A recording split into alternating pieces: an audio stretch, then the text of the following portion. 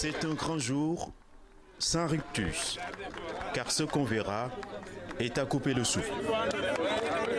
Le ruban tendu sur la rampe d'accès saute en plusieurs morceaux. Le tunnel est officiellement mis en service. Et pour son ouverture, le privilège échoua à un taxi dakarois à bord duquel les autorités ont pris place. Le trajet, 500 mètres. L'histoire ne dit pas le prix de la course.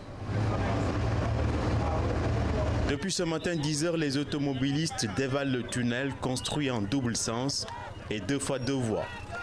Du bloc des Madeleines au Mamel, tous les ouvrages sont aujourd'hui fonctionnels. Mobilisés comme un seul homme, les riverains ont longtemps acclamé l'agence de l'OCI, la municipalité et les 600 ouvriers qui, depuis plusieurs mois, ont travaillé de jour comme de nuit.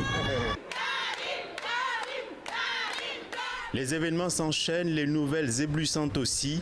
Habillée de lumière, la corniche brille désormais de mille feux, autant qu'on peut en compter sur le trajet.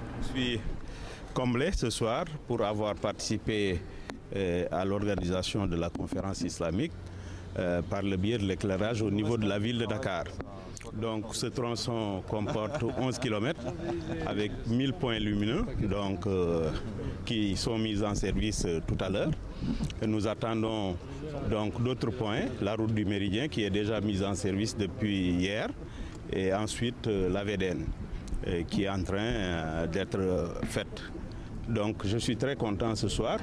Les autorités ont donc parcouru la totalité de la corniche joliment illuminée de part et d'autre entre les palmiers, sous le tunnel, les terrains. Un spectacle magnifique comparable au soleil qui chute et qui se transforme en veilleuse.